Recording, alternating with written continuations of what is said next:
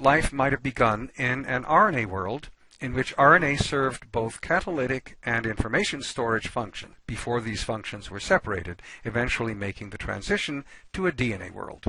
Let's start by looking at an unusual molecule that can actually replicate itself. We've seen the tidal pool model for catalyzed polymer synthesis, perhaps fueled by prebiotic atmospheric sources of free energy.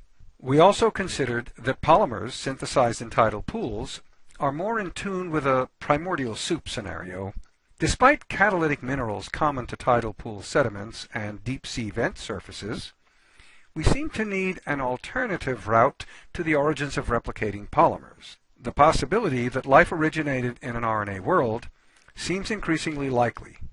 A fascinating possibility is that there existed among early organic molecules some with a capacity to self-replicate. Aminoadenosine triacid ester, or AATE, is an organic molecule that can indeed catalyze its own replication. The reaction rate depends only on the concentration of the AATE, and it proceeds as follows. An amino acid triacid ester binds another molecule of aminoadenosine, and the two aminoadenosines, now in opposite orientations, can attract and bind a second ester. After bond rearrangements, the molecule separates into two molecules of AATE, as shown here.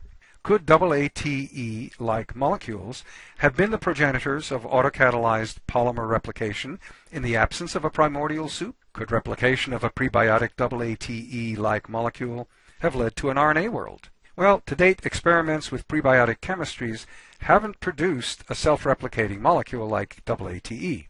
But the possibility is all the more intriguing because the triacid includes adenosine, one of the nucleotide bases.